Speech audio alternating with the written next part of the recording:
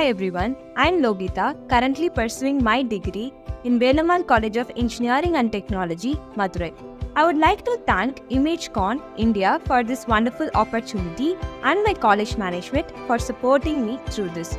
Every year in India, there are around 30 million women experiencing pregnancy. Contrast to that, 57,000 maternal deaths occur and millions suffer from pregnancy ill health issues.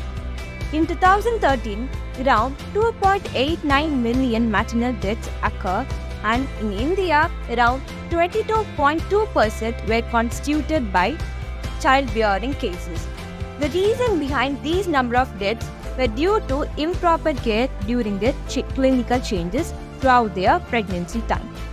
In order to prevent these number of deaths and to provide a solution for ill health pregnant women, I'm pitching this topic of smart wearables for pregnant women.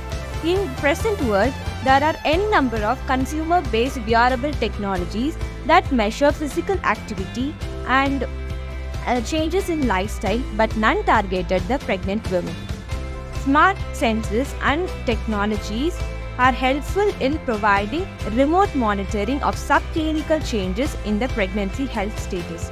The main objective of this system is to incorporate this smart technology into their daily routine and their clinical practices. Here comes in question. Is it healthy to use these wearable sensors during pregnancy? Does it affect the baby? The answer is optimistic. It does not have any high effect on the pregnancy women or either the baby because these wearable sensors emit low electromagnetic radiation. So it does not affect the mother or the baby. How does this model actually works?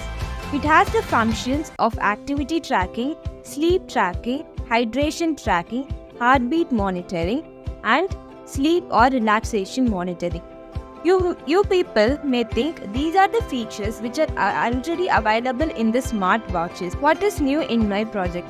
This wearable technology can able to detect the postpartum depression, that is the emotional state attained by all the pregnancy women after giving birth.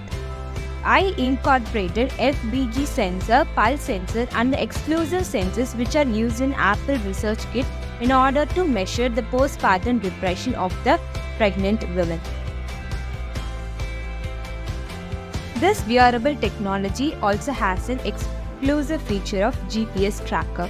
So, when the pregnant woman is alone or in case of emergency, there will be a changes in their vitals.